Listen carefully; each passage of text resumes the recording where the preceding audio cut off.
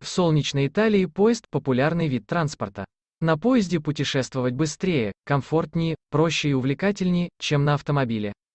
Первый поезд пошел по железным дорогам Италии в 1839 году, и с тех пор данный вид транспорта активно развивается.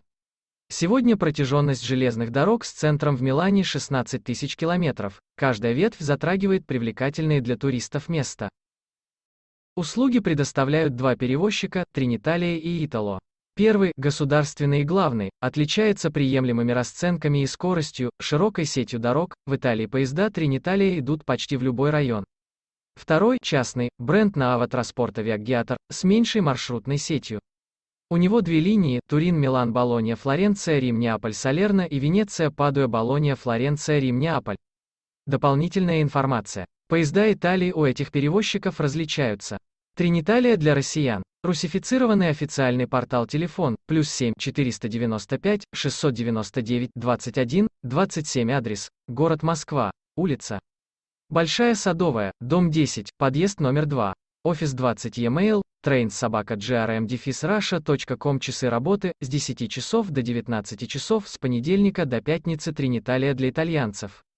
Портал на ресурсе опция чата, телефон колл-центра для Италии 89 20 21 24 часа в сутки, телефон колл-центра для других стран. Плюс 39,6 68 миллионов 475 тысяч 475, работает с 7 часов до 23 часа 59 минут. Звонок платный. Сюда обращаются для жалоб на поезда Телла онлайн-доступ. Поезда в Италии для Триниталия, Фрекси, на местном языке, стрела, отличается высокой скоростью. Делится на следующие виды, Фрекша Бианка, белая стрела, отличается комфортом и доступными расценками, Фрикша Арджента, серебряная стрела, с сидениями друг против друга, где часто укачивает, Фрикша Росса, красная стрела, со скоростью 360 км в час, вагонами бизнес-класса по желанию. Фрекси по классам, экзекьютив, премиум и бизнес.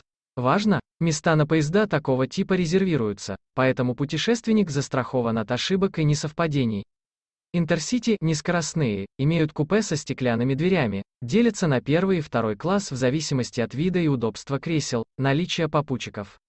Обратите внимание, здесь резервация не входит в стоимость в отличие от предыдущего типа, за нее платят отдельно.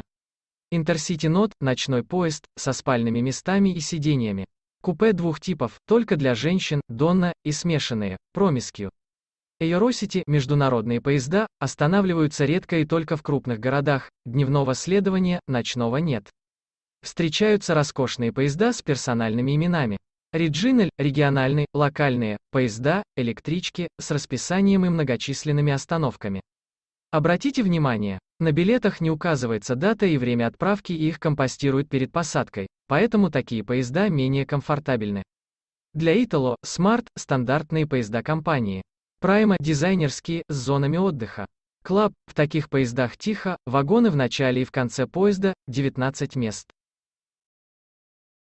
Экскурсии из Ремени по Италии у Триниталия, в Аэросити проводники владеют двумя языками, английский и местный диалект, доступна еда. Напитки, вагон-ресторан, во фрексе премиальных классов подают напитки. Также в обоих типах поездов розетки. У Итало бесплатный Wi-Fi, розетка, ТВ, в бизнес-классах Smart, вагон Smart Cinema на 39 мест, где транслируется телеканал Медуса Фильм, зона снег с автоматами для перекусов, меню Итали. В Прайма утром свежая пресса, зона отдыха Брейк, вагон Прайма Релакс. В Club четырехместные салоны за дополнительную плату. На вокзалах можно купить через интернет-портал GoEuro с русскоязычным интерфейсом. Поезда мира. Перед поездкой придерживаются следующего плана. 1. Выбрать тип шенгенской визы. А для единичного пересечения границы, длительностью до 5 дней с возможностью приезжать и уезжать несколько раз. С популярная виза. Пребывание в стране не более трех месяцев в течение полугода с возможностью нескольких выездов. Д. Не является шенгенской, под названием «национальная», с возможностью продления и поездок в соседние страны шенгенской зоны на срок более 90 дней. 2. Определить, какие документы нужны для поездки в Италию, заграничный паспорт, первые страницы с данными, оригиналы, копия, ксерокопии прежних, паспорт гражданина, копия и подлинник, цветное фото 3 на 4. Полис страховой с 30 тысяч евро, согласие на обработку персональных данных, туристические ваучеры или иное, подтверждение того, что путевки забронированы если турист отправляется на автомобиле, свидетельство о регистрации транспортного средства, водительские права, страховой международный полис, оригиналы и копии. В случаях, когда автомобиль арендуется, договор аренды автомобиля, План того, какие страны посетите, справки для пенсионеров, пенсионное удостоверение, подлинник и ксерокопия, для студентов, из учебного заведения с заверением декана печатью и подписью, для трудящихся бланк фирмы с указанием должности, стажа, зарплаты, оригиналы копия сберкнижки или банковской гарантии, выписка о состоянии счета, баланс счета на чеке, при необходимости уточнять, что нужно в визовом центре, спонсорское письмо, подтверждение родства, свидетельство о рождении, разрешение на выезд от обоих родителей, виза сопроводителя. 3. Записаться на прием и отслеживать статус заявления удобно через адрес во всемирной сети. 4. Прийти на прием, сдать биометрию, оплатить госпошлину в кассе визового центра. 5. Получить визу через некоторое время. Обратите внимание, рассматривается виза от 4 до 90 дней. Из России в Италию с белорусского железнодорожного вокзала Москвы за 48 часов поезд доставит до Ниццы. Затем пересадка в Вероне, Милане, Генуе через 40 часов после начала пути. В дальнейшем до нужного места довезет автобус или электропоезд. Рим. Популярные направления у туристов связаны с Римом. В столице Италии несколько вокзалов, Астиенсе, Порто-Сан-Паоло, Термини, Главный, Тибуртино, Трастевере. Поезд Рим-Болонья, Ром-Бологна, каждые полчаса идет поезд от ЖД вокзала Термини до центрального вокзала Болоньи. По расходам поездка обойдется в 30 евро. Звездочка время в пути около двух часов. Поезд Верона-Рим, доехать поездами Фрикша-Арджента, Фрикша-Росса 1000 и Иеро-Найт. Наиболее удобный вариант – ночной поезд Интерситинот за 32 евро и 70 центов. Звездочка поездка обойдется дешевле, если заказать заранее. Рим-Венеция, расстояние от Рима до Венеции на поезде 394 километра.